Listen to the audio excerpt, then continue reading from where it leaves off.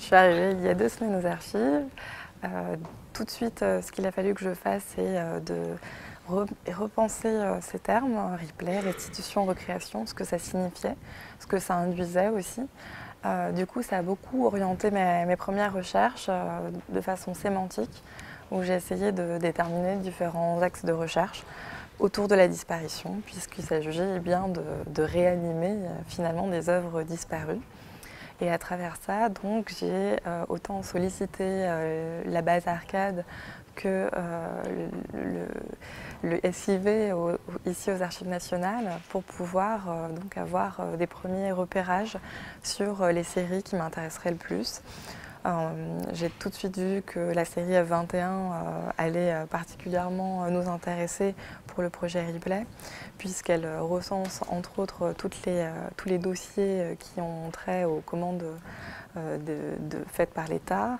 Et dans ces dossiers-là, on trouve énormément d'informations et euh, sur euh, les modalités d'acquisition et sur les notes de production des artistes et donc des avant-projets qui n'ont par exemple jamais vu le jour et qui n'ont pas pu être euh, achevés et qui du coup représentent une grande partie de, ce travail sur le corpus d'archives en vue du projet Replay, Restitution Recréation. Donc j'ai travaillé vraiment sur ces différentes prises et repérages tant euh, au niveau des archives nationales qu'au niveau documentaire, où j'essaye de euh, trouver des pistes euh, bibliographiques qui pourront aider à terme artistes, chorégraphes et chercheurs à pousser en, tout cas ces pistes-là et à pouvoir les compléter, à s'approprier le matériau à travers une base de données où je recense tous les documents que je trouve et notamment donc avec ces petits euh, focus documentaires euh, plus précis, je dirais, sur certains faits historiques, euh, sur certaines thématiques, notamment sur les vols, les spoliations ou encore les destructions pendant les différentes guerres. C'est une enquête permanente, perpétuelle, comme toute recherche, mais là ce qui est extrêmement enrichissant et, je dirais qui qui me, stimule véritablement, c'est ce travail euh, un petit peu comme un commissaire de police hein, qui doit retrouver les indices, les preuves, essayer de reconstituer euh, déjà à, ce stade du projet, euh, en quelque sorte faire survenir l'œuvre à travers le peu de traces, peu de traces qu'il en reste, et je dirais du coup recenser toutes ces pièces à conviction qui serviront par la suite euh, aux autres acteurs du projet pour pouvoir s'approprier le matériau et euh, faire évoluer cette recherche en une nouvelle production, en une recréation. Donc vraiment c'est un processus d'enquête, de collecte.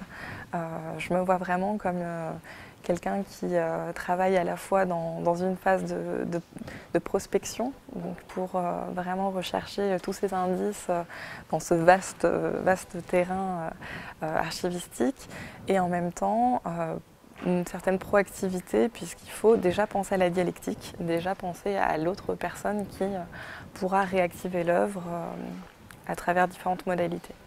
On trouve différents, documents, différents types de documents. Effectivement, c'est toute la richesse du projet, je pense, notamment des notes administratives, des notes de production, donc d'artistes, mais également euh, des principaux acteurs institutionnels qui vont faire commande à des artistes pour euh, remplacer des statuts qui ont été destinés à la fonte pendant la, la Seconde Guerre mondiale et sous l'occupation.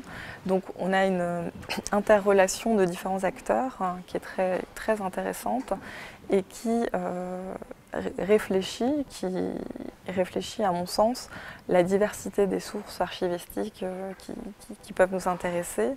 La série F7 par exemple qui euh, provient des versements du ministère de, l'Intérieur est très intéressante parce qu'elle nous donne à, voir des éléments d'enquête qui, qui, qui, ont intéressé des équipes et des commissaires de police mobiles par exemple pour euh, retrouver des œuvres euh, volées dans des musées euh, français. Donc je pense que c'est extrêmement intéressant d'avoir cette diversité de, typologies d'archives pour avoir différentes orientations à donner au projet. Donc ces notes administratives, ces, procès-verbaux ou encore ces dépositions sont tout autant d'éléments qui donnent des, des descriptions plus ou moins précises sur des contextes. Et euh, je pense que cette contextualisation sera très importante euh, lors de la recontextualisation où euh, certains détails seront peut-être juste relevés pour pouvoir recréer une œuvre ou la restituer dans son intégralité. Alors beaucoup, beaucoup de documents m'ont vraiment marqué, je dirais justement de par leur nature. Ce n'est pas toujours les documents auxquels on s'attend le plus qui, qui marquent. J'ai été bon, évidemment marqué par euh, certaines photographies.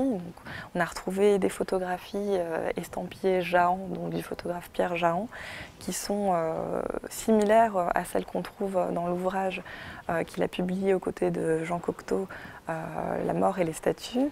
Et donc ces photographies-là, qui sont authentiques et qui en même temps ne sont rattachées à aucun autre document dans, la boîte, m'ont questionné et m'ont donné envie donc euh, d'en savoir un petit peu plus sur cette enquête euh, qu'ils ont menée tous les deux euh, lors de la fonte des statues sous l'occupation. Donc ça a été un moment un petit peu, particulier, très émouvant.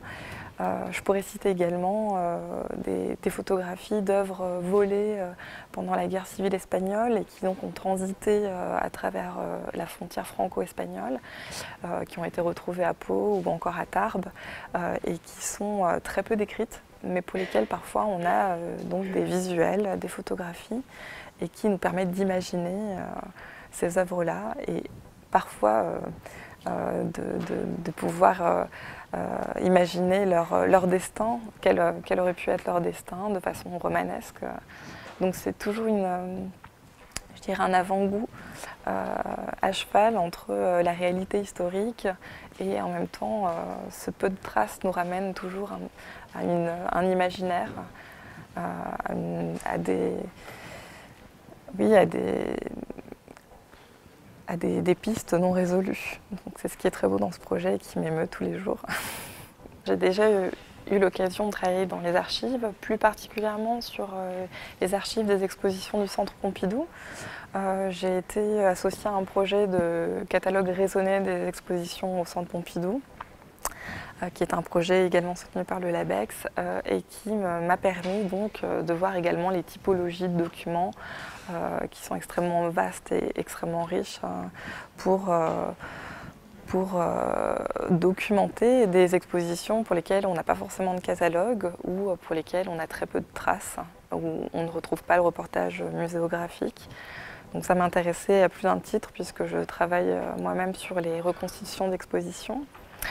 ça a été donc un, projet où j'ai dû travailler et m'enfouir dans, dans, ces typologies d'archives. Et à titre personnel, je travaille donc euh, également euh, euh, fréquemment avec des archives. il m'est arrivé de, travailler sur le fond du musée Marmottan pour divers projets. J'ai travaillé également pour un article sur la Joconde au centre de documentation du musée du Louvre. Voilà, donc différents projets qui m'ont permis d'avoir un panorama du travail sur l'archive. Depuis ce matin, je travaille sur euh, toute une série de documents qui euh, ont trait euh, aux radiations d'inventaires, donc d'œuvres qui ont été radiées des inventaires des musées nationaux. Donc, de cette série 2014 4785, plus particulièrement le sous-dossier numéro 30. J'ai travaillé donc sur le cas de cette tête de Baudelaire de Raymond du Champvillon, qui a été radiée de l'inventaire au musée d'art moderne et qui a été accidentellement brisé. Donc les cas de radiation d'inventaire portent sur euh, les œuvres qui sont totalement détruites, qu'on ne peut pas récupérer. Donc on en a très peu de traces finalement, euh, mis à part euh, leur inscription sur l'inventaire et leur radiation. Donc cette œuvre de Raymond Duchampvillon, on a très peu d'informations sur elle. L'arrêté qui fait état de la radiation de l'inventaire de cette œuvre qui date du 15 novembre 1948.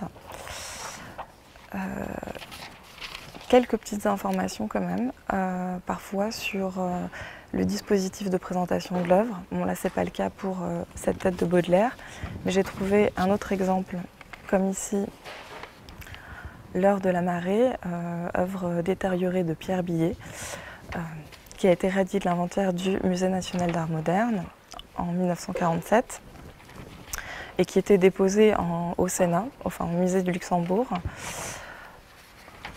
et pour laquelle on a également très peu d'informations, si ce n'est, euh, voilà, ici,